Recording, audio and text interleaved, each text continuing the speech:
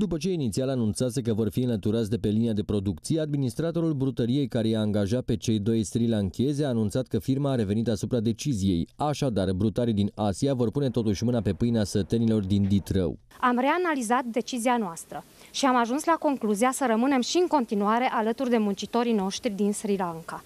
Ei vor lucra și în continuare la noi pe aceeași posturi pe care au fost angajați și în niciun caz nu suntem dispuși să renunțăm la ei. Decizia vine la foarte scurt timp după ce ministrul muncii a anunțat pe Facebook că va trimite o inspecție să verifice condițiile de lucru la brutărie. În aceeași postare, Violeta Alexandru și-a cerut scuze față de cei doi angajați străini care au fost ținta protestelor la Ditrău. Sunt doi oameni care au venit să muncească, să muncească, să-și câștige existența, la chemarea unui patron care a avut nevoie de oameni care să muncească în respectiva întreprindere și ca, prin care să poată să ducă afacerea mai departe. Muncitorii sunt acum cazați în orașul Gheorgheni după ce gazdele lor din satul Lăzarea au primit amenințări. Pe mine, ca cetățean, nu mă deranjează.